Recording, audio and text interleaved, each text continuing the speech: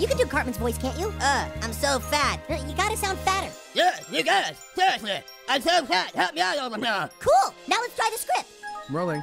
I don't know what to do, dude. Who should we help? I say we help Santa Claus. Oh, you're just saying that because he brings you candy. I, I don't need to take that kind of from a Jew.